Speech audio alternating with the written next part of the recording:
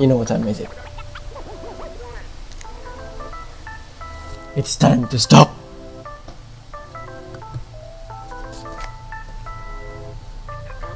It's time to stop!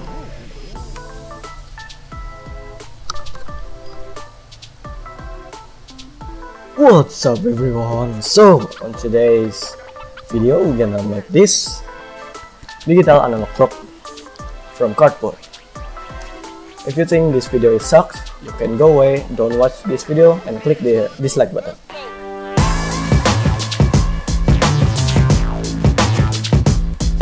Okay, first thing you will need a cardboard, and then expand it. After you expand the cardboard, find the white side of the cardboard. After that, find the center point and mark it. Mark the center point of the cardboard for the analog clock. Make sure it's precise and centered.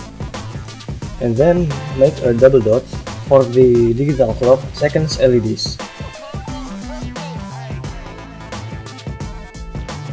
And then you can draw rectangles for the segments. For the dimensions, I just use LED strip dimensions. Make sure you measure and calculate the dimension of each segments so you can maintain the preciseness. And then you can cut everything out.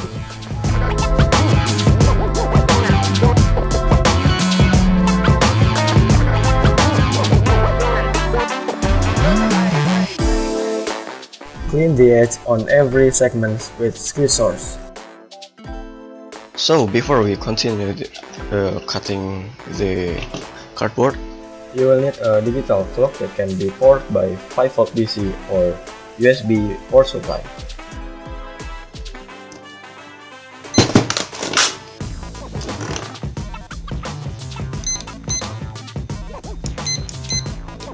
And then you should open the digital clock first because before you putting all LED together, uh, you should need to know what the common is.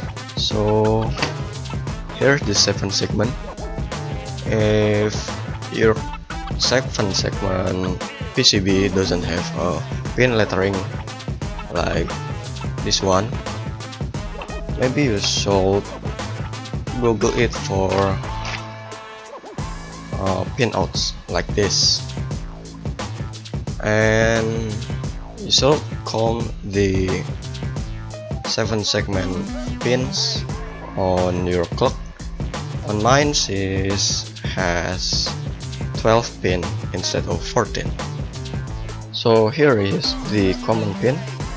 Uh, there is D1 D2 D3 and D4 because the 7 segment has 4 digits and I will using Arduino to find what the common pin is. Uh, maybe it's anode or cathode. Uh, so here's the example of common anode and common cathode pin on the 7 segment. So if your 7 segment has common anode it will uh, the wiring LED will like this. And if you had the common cathode one the LED will looks like this. And here's the wiring if you confuse maybe a little bit but actually this is not that hard. So I will begin testing this uh, 7 segment on the Arduino it has 3.3 volt DC so you can test it using double AA batteries or 3 volt power supply. Make sure it's not more than 3 volt. So here's the positive one. Maybe it's kinda hard. And here's the negative. And it's light up.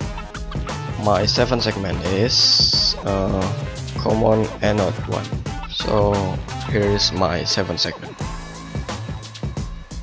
So I will wiring up the LED strip because I will use LED strip wiring like this and connect it all together to this board. I'm very lucky uh, because there is uh, pin lettering on the board. So I'm not confused about wiring the LED I think that's enough. Let's continue cutting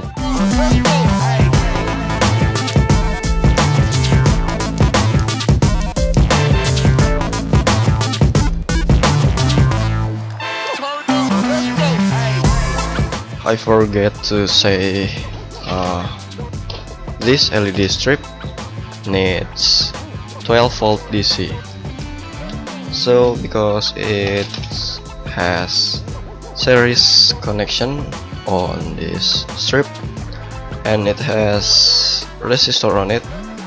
So the circuit will be looks like this so because the connection are using series connection. So we need to change it into parallel connection. And it looks like this. So sorry for bad drawings. You need to modify this LED strip by uh, shorting removing this resistor and flipping this LED on the middle. So the resistor will be removed and short the pin on the resistor. And maybe you need to uh, read the circuit on the strip or flexible. And here's the negative pin it goes directly to the LED and from the LED into the resistor from the resistor into the LED and the LED into the LED so here's 12 volt positive. And from this one uh, negative LED goes directly to this. So this one is positive. On the top will be flipped into negative because it's negative and this is positive goes directly to resistor. So we'll need to remove or short this pin on the resistor. And on the positive right here connect it to the positive pad on the right side. So let's begin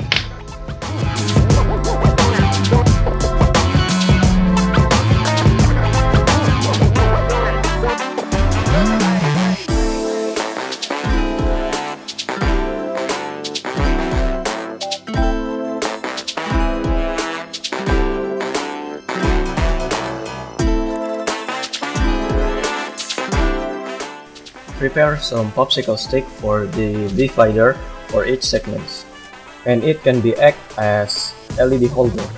Cut all of those popsicle stick and you need to make sure it has same length of segments holes. After that you can glue all of those popsicle stick and do what I do like on the video.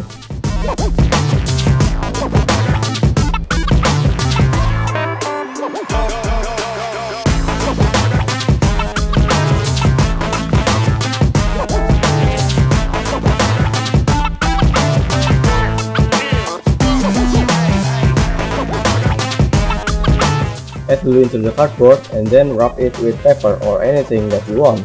So it's kinda make it better than before. After you finish uh, wrapping the cardboard you can solder all of those LED strip and LED into the matrix connection with four common pins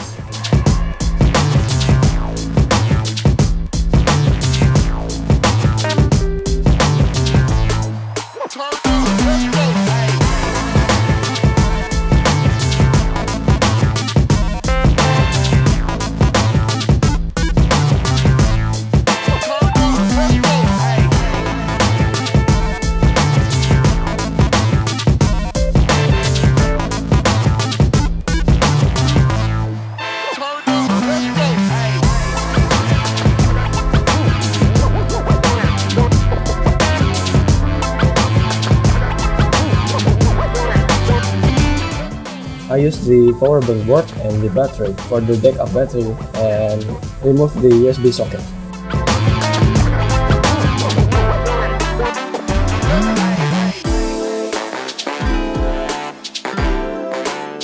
Make a voltage divider. For the analog clock mechanism, I use 100 ohm and 330 ohm resistor. After that, you can solder everything up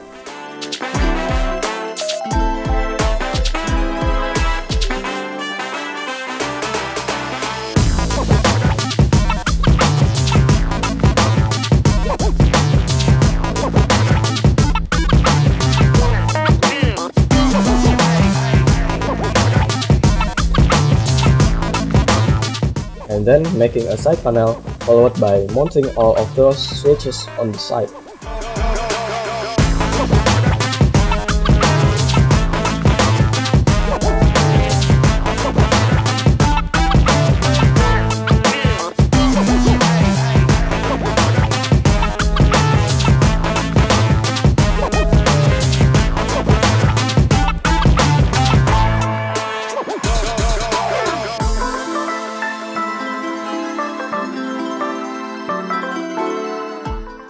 Before you glue the back panel, you should find the balance point first for making nail hole if you are making one nail hole.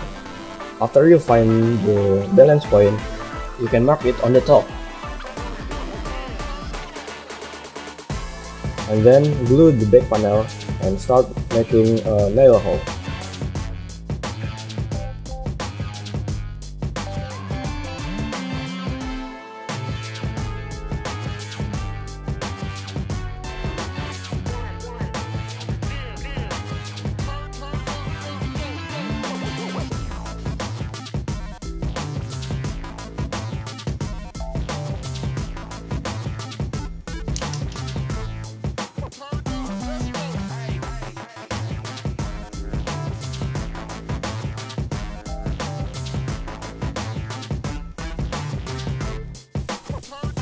That's it for this project guys. If you like this video, just hit that like button. But if you hate it, I already told you before. If you want more about DIY project or something, just get subscribed and hit that notification bell icon. Thanks for watching.